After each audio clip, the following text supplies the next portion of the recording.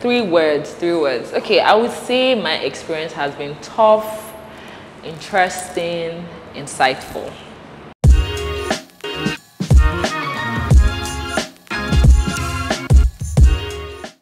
Hi guys, my name is Ogechi Cynthia Eze. I am a data science student at Go My Code. I've never done um, Python before, so and in my class there were like some people that already knew what was happening, and then when they were teaching, and I was just so confused, and I'm like, God, what is this? What I have set myself up.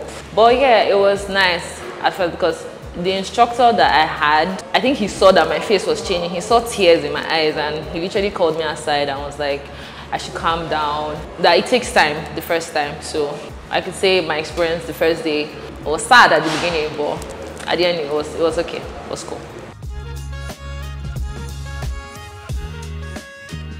I am a geology student, right? And I graduated from the University of Benin, but I want to do my master's in something related to tech and geology at the same time.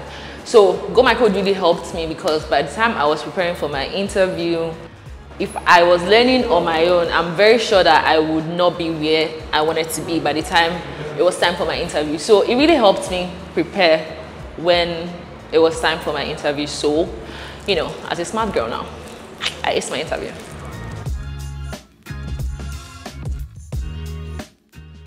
One thing I really love about Go My Code is the building. I, I'm a very colorful person. Like colors are really, really attractive to me. So the environment is really, really nice for learning. It's aesthetically pleasing.